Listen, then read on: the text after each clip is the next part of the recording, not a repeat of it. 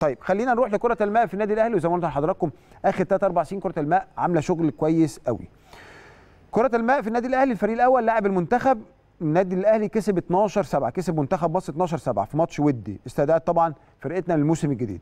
الماتش كانت لعب على حمام سباحة النادي الأهلي وطبعا المباراة شهدت طبعا مستوى متميز المنتخب بيلعب النادي الأهلي فأكيد مستوى قوي وعرض جيد جدا من الطرفين.